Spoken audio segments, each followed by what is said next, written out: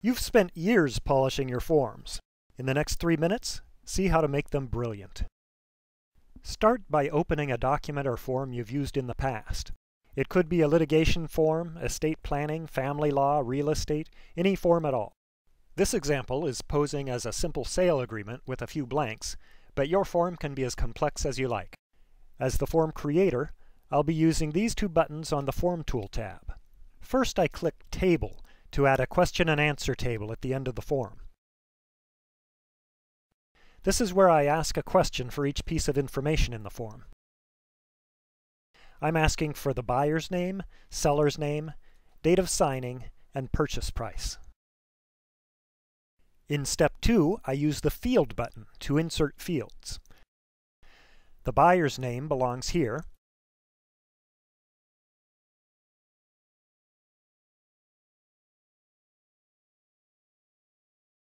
the seller's name here, and so on. Each time I add a field, I choose an appropriate format. Here I want the buyer's name in uppercase letters.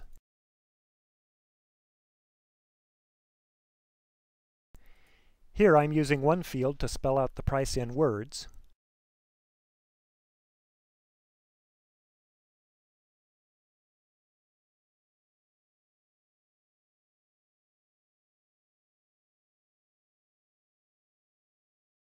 then another field to show the same price with numbers.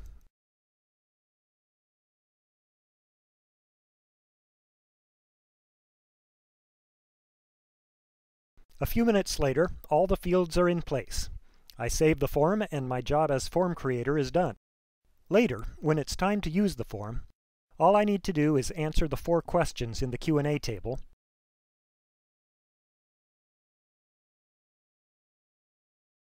Then click the Fill button to fill in the form. Take a look at the results. Buyer and seller names are repeated throughout the document, uppercase where appropriate.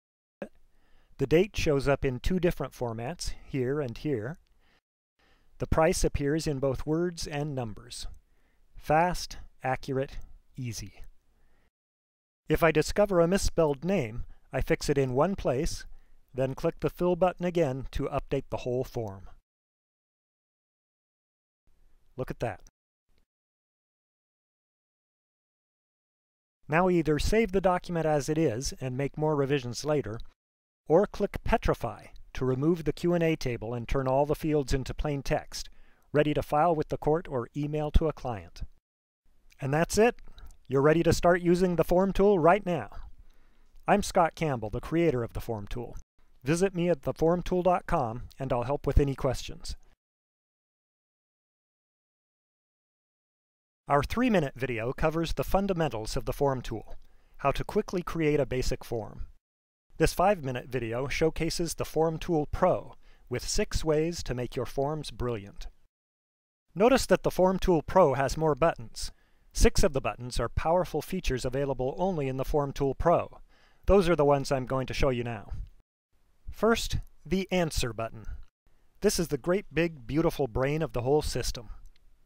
Choose any answer box in the Q&A table and click Answer to open the Smart Answer screen. There are quite a few options to look at here, but really just four types of answers. Text, List, Choice, and Yes-No. This preview area shows what each one does, and we'll use some sample forms to try them out. The second question in this Q&A table uses a list type answer for shareholder names. And this question uses a list of choice type answers, so it's easy for me to choose officers from the list of shareholders. No retyping, and no proofing and double checking to make sure names are spelled consistently throughout the document. Let's move on to the Field button. Click it to open the Field screen, which includes two field types available only in the Form Tool Pro, pronoun and singular plural. Watch how much time I save on pronouns and plurals in this sale agreement. When the seller is a she, all the pronouns, plurals, and verb forms are correct. Seller agrees, she is, apostrophe s, and so on, all through the document. And when I switch the seller to they, because I'm changing to Mary and Fred Jones, and click the Fill button again, every one of those words is instantly updated. Sellers agree, they are, S apostrophe, all the way to the end. Easy, fast, and flawless. The next button over, Condition, gives your forms brains of their own. For example, this paragraph should only be included if the buyer is married, so I select it and add a condition. Only show this paragraph if the answer to the married question is yes. You can set up all sorts of conditions and turn your forms into logical worker bees. Here's an agreement with 11 conditional pieces, phrases, sentences, paragraphs, and signature blocks, all depending on whether the seller is an individual or a corporation. If I choose he or she for the seller, I get one document.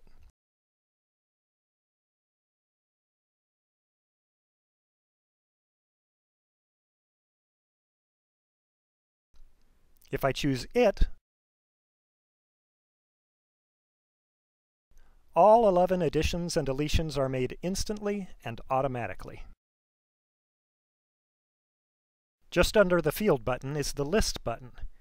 Lists work just like fields, but with list answers. Either choose a format for the list here, or make up your own format. This bylaws form asks for a list of shareholders. When I click Fill, the list of shareholders appears in narrative format here, and again in signature format here. Just that easy. The Master Lists button opens this screen, where you can create lists of information to be used over and over. For example, I use this master list of attorneys for signature blocks in dozens of forms. Here's how it works. I choose a couple attorneys,